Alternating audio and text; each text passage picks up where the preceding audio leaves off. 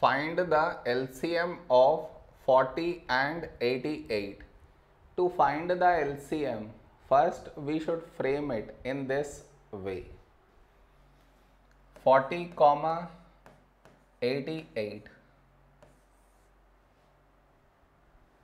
This is your step 1. Now you should focus on to the first number which is 40 here. For this number last digit 0 so directly take 5. When do we get 40 in 5 table? 5 8s 40. The other number 88. Last digit neither 0 nor 5 so this is not divisible by 5.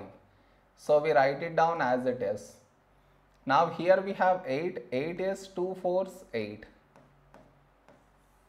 The other number 88 last digit 8 even so this is divisible by 2. First number 8 when do we get 8 in 2 table 2 4s 8. The other number 8 when do we get 8 in 2 table 2 4s 8.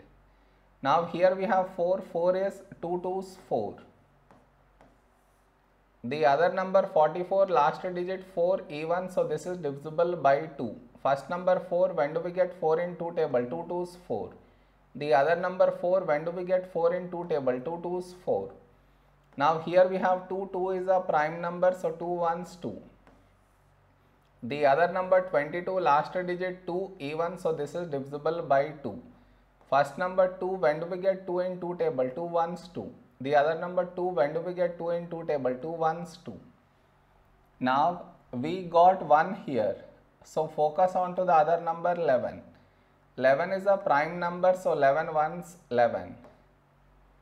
So we got 1 in both the places. So our LCM is LCM is the product of these numbers that is 5 into 2 into 2 into 2 into 11. Let us multiply these numbers 5 into 2 10 into 2 20 into 2 40 into 11 440 is our LCM.